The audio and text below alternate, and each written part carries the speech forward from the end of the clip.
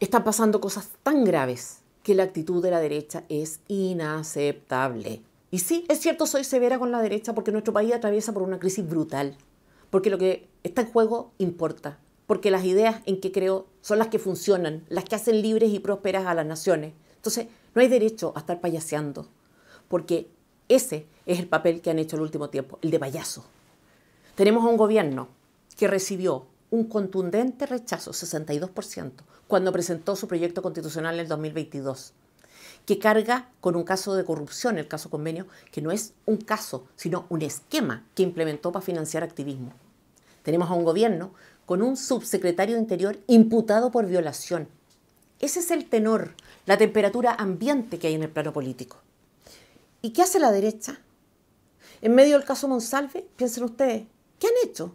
Dar cuñas en televisión, anunciar comisiones investigadoras. ¿No creen ustedes que es un poco pobre la reacción, un poco pusilánime? Y entre las derechas, no sé cuál es peor, la verdad. A propósito del caso Monsalve y también de la denuncia contra Boric, ¿dónde han puesto el énfasis? En un supuesto incumplimiento de los estándares feministas. Señores, no es momento de reivindicar esos estándares, sino de mostrar lo absurdos, lo tóxicos que son esos estándares, en acabar con ellos en el fondo. Es que hay que mostrarles su incoherencia, dice. Y está bien, pero eso no es lo más importante. Este, señores diputados y señores senadoras, este es el momento para exigir la derogación de la normativa que se ha aprobado conforme a esos estándares. La ley Karin, por ejemplo. Este, señores diputados y señores senadores, este es el momento de exigir que se retracten de sus eslóganes estúpidos. Pero no republicámonos y Chile vamos discuten sobre si hay o no acusación constitucional, como si esa fuera la única herramienta de la que disponen, como si no pudieran salir de ese binomio. Francamente, no hay derecho a que se presten para una performance frente amplista. O creen que no se vieron así bancada republicana, Arturo Esquella, con esa reacción apresurada ante una denuncia cuyos antecedentes desconocían. Se expusieron a hacer el ridículo y lo hicieron por frívolos, por impulsivos, por oportunistas, por volar a ras de piso, por poca cosa. Eso es.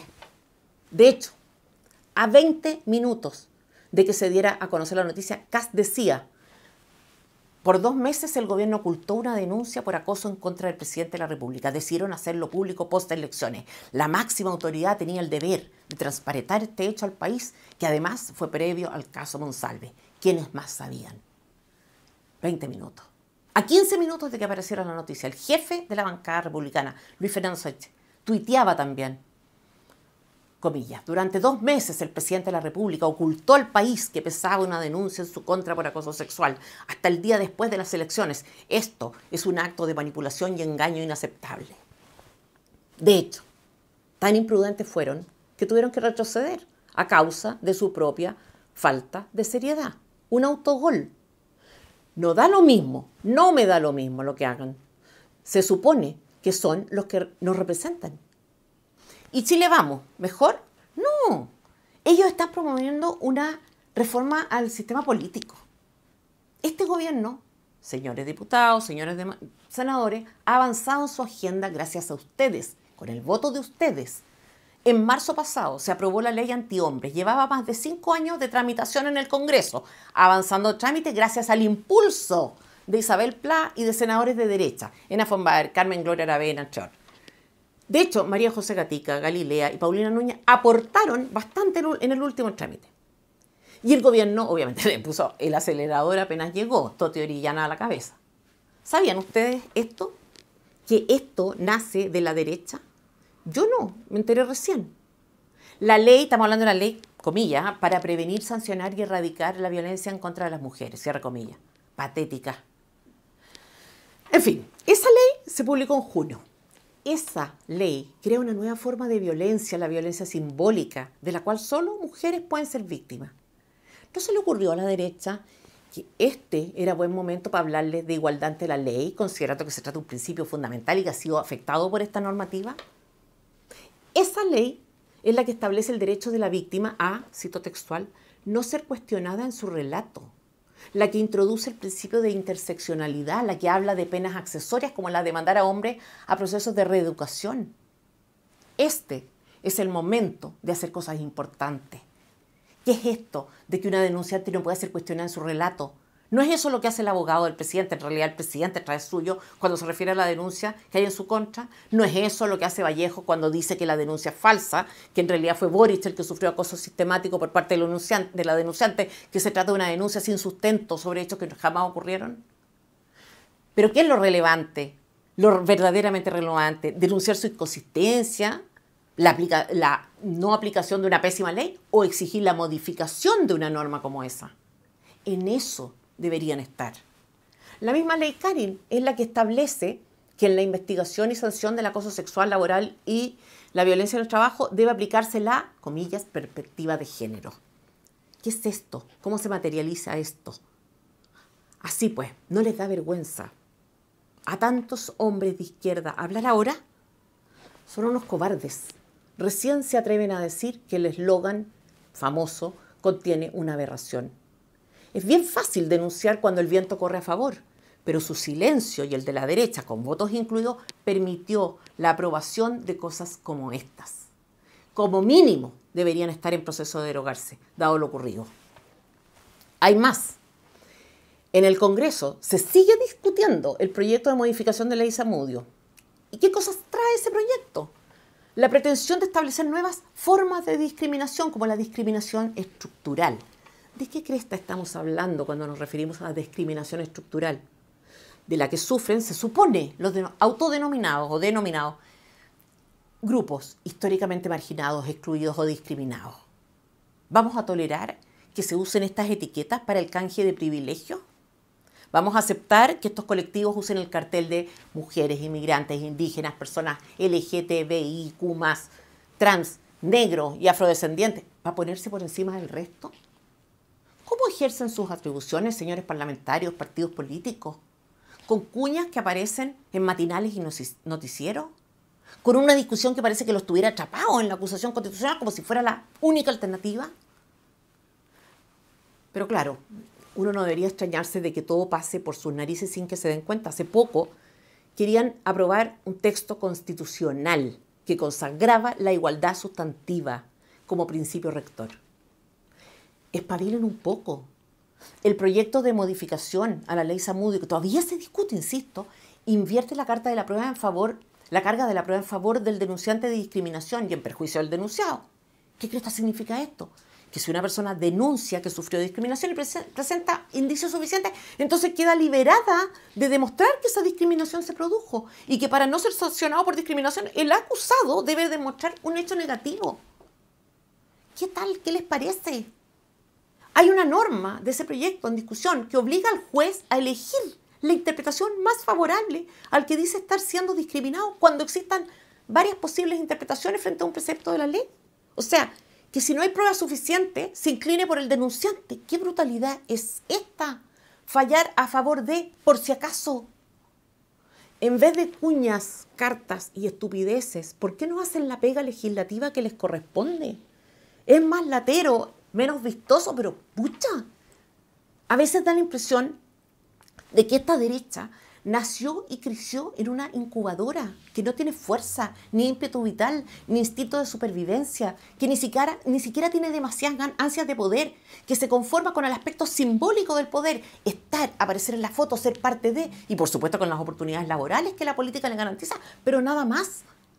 Da la impresión de que con eso les basta, que el poder es eso para ellos, figuración y empleo. La verdad es que parece una forma de hacer y entender la política propia de Castrado. Pero no solo carecen de fuerza, también de astucia, de inteligencia. Viven en una perfecta e impenetrable burbuja y por eso no hay triunfo ni fracaso que los haga reaccionar. Quizá por eso es que en circunstancias como las actuales no piensa en grande ni piensa en el país, hace una propuesta de reforma del sistema político. O sea, ven, saben que están perdiendo poder y capacidad de control. También lo sabe el gran empresariado que negocia con ellos, que los usa de embajadores y se dedican a buscar fórmulas para asegurar y concentrar el poder. Los liberales. Ah, la fragmentación, el discolaje, la indisciplina los asusta y asusta a sus dueños. Y esto es tan obvio, pero tan obvio, que al presentar su magro proyecto de reforma al sistema político citan la opinión de Karen Tal, presidenta de para justificar la reforma que impulsan. Les faltó mencionar a Juan Sutil. Los referentes. ¿Cuánto les reportan? ¿Cuántos ingresos les llegan con estos pequeños gestos de servilismo? ¿Y qué proponen los padres de la patria? Fricción Fruna. Voto obligatorio real, condición de demócrata además para cualquier reforma. O sea, frente al aumento de abstención en la segunda vuelta de gobernadores, 27% de chilenos o no votó, o votó nulo o blanco, lo que proponen es obligar a votar. Así es como enfrentan su falta, de liderazgo, su incapacidad de interpretar a los electores a través de la coacción. Luego, quieren exigir como condición para que un parlamentario ganador acceda a su escaño que su partido haya obtenido como mínimo un 5% de los votos totales. Y esto significa que alguien podría obtener el 100% de los votos de un distrito, pero no ser electo porque su partido no obtuvo el 5% del total de los votos. Genial, ¿o no? O sea, entre la voluntad popular y la concentración de poder en los partidos, los partidos, ya sabemos quién gana. Seguimos. Prohibición de listas de independientes. Financiamiento de los partidos solo estatal. Pero hay más. Si un parlamentario renuncia a su partido, pierde el escaño. O sea, de nuevo, las instituciones peor evaluadas por la ciudadanía, exigiendo poder para silenciar y sacar a cualquier autoridad legítimamente electa que no se cuadre con las directrices de la directiva del partido. Se niegan a acusar constitucionalmente al presidente porque fue democráticamente electo. Pero si el electo es un militante de su partido que los enfrenta, entonces el argumento democrático no vale. Y que haya sido electo no importa. Esto es realmente insólito. Llevamos meses cubriendo escándalos que los políticos han creado. Y ellos nos vienen a decir que eso se resuelve dándoles más poder. La derecha no aprende, no aprovecha los triunfos, dilapidó el del rechazo, ni aprende de los fracasos. De hecho, no hay ningún partido de derecha dando cuenta de los resultados de las elecciones del domingo, que para la derecha fueron pésimos, aunque nadie lo diga. Veamos lo que pasó el fin de semana pasado. Competían nueve candidatos de Chile Vamos, ganaron cinco. Dos candidatos de republicanos, perdieron ambos. Los dos que se presentaron como independientes ganaron, pero uno de ellos, Claudio Rego, es indiscutiblemente oficialista y superó al candidato de Chile Vamos por 10 puntos. Por la lista de gobierno, por Chile y sus regiones se llamaba, competían cinco candidatos, ganaron cuatro. En términos comparativos, Chile Vamos se queda en las elecciones de gobernador de este 2024 con seis gobernadores, tenía uno, pero sigue estando muy por debajo del gobierno, que pese a la crisis indultos a delincuentes, fracaso en primer proceso constituyente, caso convenio, caso Monsalve, tapado pocos días antes de la elección, pierde solo un gobernador respecto a la elección pasada y se queda con siete regiones, o sea, por sobre la derecha. Y eso sin considerar la metropolitana y la araucanía. De hecho, si medimos la fuerza derecha e izquierda como bloque, la izquierda se queda con 10 gobernaciones y la derecha con 6. Bueno, la democracia cristiana sigue la tendencia de los últimos años, desaparece. O sea, de los cuatro candidatos que llevaba, dos pierden en primera y eh, los otros dos en segunda. Esto es increíble. Es como perder en el solitario. Y si no me creen, revisen la elección del 2021 con el gobierno de Sebastián Piñera atravesando un momento crítico, ¿ah? posterior a la crisis del 2019, cuando empezaba la pandemia. ¿Qué pasó entonces con la oposición? Arrasó en la elección de gobernadores. De hecho, la derecha se quedó solo con la Araucanía, o sea, región en la que históricamente ha obtenido resultados mejores que en el resto del país. Solo con la Araucanía. En el fondo, la derecha pierde hoy con un rival absolutamente debilitado y pierde en gobernaciones relevantes, Santiago y Valparaíso y en la Araucanía, donde Luciano Rivas, gobernador en ejercicio, no logra vencer en segunda vuelta a René Zafirio, candidato a izquierda. La izquierda, ganando en la Araucanía, por contraste, en 2021 la izquierda, entonces oposición a un gobierno de derecha, se quedó con el 44% de las alcaldías, mientras que la derecha se quedó solo con el 25%. Con el 65% de los concejales, mientras que la derecha solo llegó al 34%. En esa elección la izquierda se hizo de 14 gobernaciones, porque obtuvo el 70% de los votos. Chile Vamos logró una gobernación.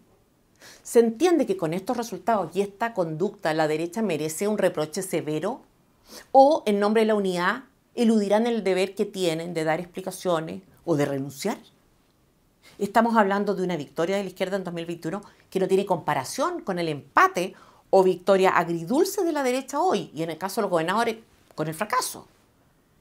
Y mientras el PC, el PC, se muestra dispuesto a sacar lección de lo ocurrido, me duele, dice Carmona. Tendremos que hacer todos los análisis y evaluaciones que nos permitan sacar enseñanzas de ese proceso.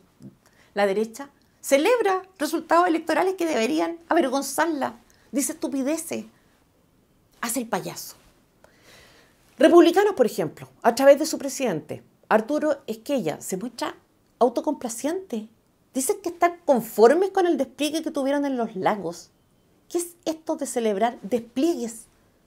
Ruth Hurtado va más allá.